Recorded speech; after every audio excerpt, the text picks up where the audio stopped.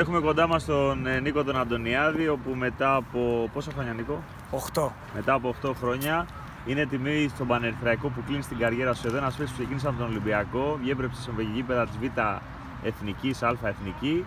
Τα τελευταία χρόνια, 8 χρόνια, μαζί με τον μικρό Αντωνιάδη. Ε, δύο κουβέντες έτσι να το έχουμε στο αρχείο μας. Θέλω να ευχαριστήσω πρώτα απ' όλους τον πρόεδρο, τον πατέρα αυτής της μεγάλης οικογένειας που λέγεται Πανερυθραϊκός. Αυτός ο άνθρωπος για μένα άλλαξε την ιστορία της ομάδας.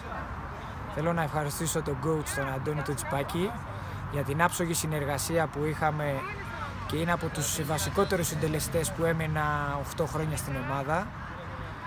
Τους ακούραστους εργάτες για μένα που δουλεύουν πάντα για την Ερυθρέα, τον Γιάννη τον Δημητρίου και τον Νίκο τον Κονταράτο.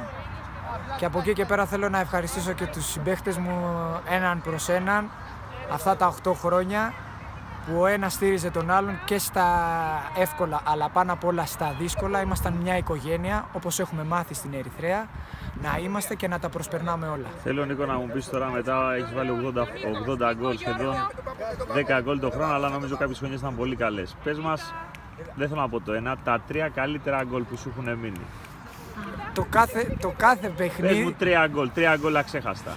Ένα, ένα που θυμάσαι έτσι πολύ.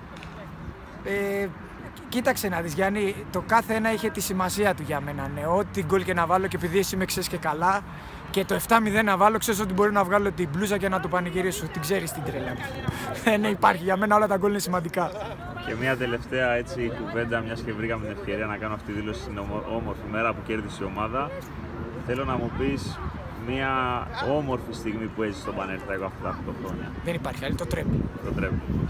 Δεν το... Ε, και πιστεύω ότι αυτό που κάναμε Νομίζω ότι... στην Αθήνα δεν το έχει κάνει, πιστεύω εγώ τουλάχιστον όσα χρόνια παρακολουθώ, δεν το έχει κάνει και άλλη ομάδα. Νομίζω ότι οι άνθρωποι του Πανεθραϊκού έχουν αποφασίσει να κάνουν ε, μια μεγάλη κορνίζα ε, αυτό που σε χαρακτηρίζει όλα σαν παίκτη, γιατί σαν άνθρωπο σε χαρακτηρίζουν πολλά σαν παίκτη, τη φάση που κερδίζεις το πέναλτι στη Ριζούπολη. Νομίζω ότι αυτό είναι, αυτό είναι, αυτό είναι Αντωνιάδη τελικά. Είναι χαρακτηριστική Είδες, φάση πραγματικά. Έκανα να γιατί σε είδα να πάνε να συγκινηθείς, έκανα να γελάς. Γιώργο, τι είσαι να πεις για τον μπαμπά. Ο καλύτερος. Ο καλύτερος. Ευχαριστούμε πολύ. Ευχαριστώ Γιάννη, ευχαριστώ.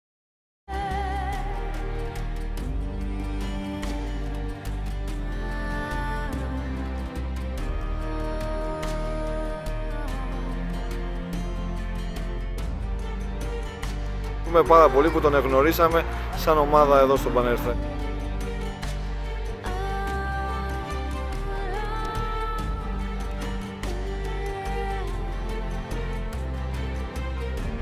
Ήταν ένας πολύ καλός παίκτης στο γήπεδο. Είναι μια μέρα όπου λέω αδείο στον Αντωνιάδη, στον Νίκο, αλλά από την άλλη πλευρά άνοιξα μια άλλη πόρτα μπροστά του για να είναι μαζί μας στην οικογένεια του Πανεπιστημίου. Ευχαριστούμε πάρα πολύ. Θα παραμένει εδώ μαζί μας. Αυτό είναι σημαντικό. Ευχαριστούμε πολύ. Να είστε καλά.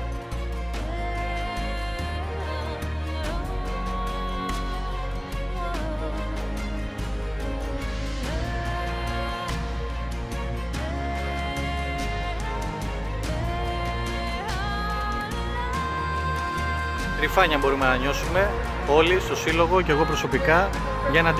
Είμαι υπερήφανος που τον είχα και ποδοσφαιριστή γιατί με τον, Νίκα, με τον Νίκο είχα τη χαρά ε, να βρεθώ και συμπαίκτης.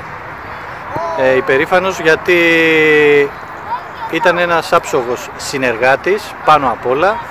Είναι ένα εξαιρετικό παιδί, διαμάντι θα έλεγα και πιστεύω για όλους και για, τα, για όλα τα παιδιά, μικρά μεγάλα, ε, για όλους όσους συνεργαστήκαν μαζί του. Πιστεύω ότι το καλύτερο ότι ο Νίκος είχε πάρα πολλές καλές ε, στιγμές. Θεωρώ σίγουρα στον τελικό κυπέλου ε, που κέρδισε τον πέναλτι, ε, αλλά θεωρώ και οι τίτλοι οι οποίοι, με τους οποίους κερδίσαμε το 13-14 θεωρώ ότι ήταν από τα καλύτερα σημεία ε, της καριέρας του. Όπως θεωρώ πως και σήμερα το τελευταίο του παιχνίδι ήταν ίσως ό,τι καλύτερο θα μπορούσε να του συμβεί. Ευχαριστούμε πολύ. Εύχομαι τα καλύτερα και να έχει υγεία αυτός και η οικογένειά του. Ευχαριστούμε.